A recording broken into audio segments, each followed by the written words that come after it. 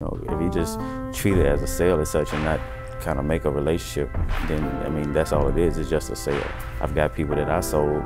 I built relationships. I mean, they invited me over for Christmas, you know, for Thanksgiving dinner. So it's all about building a relationship.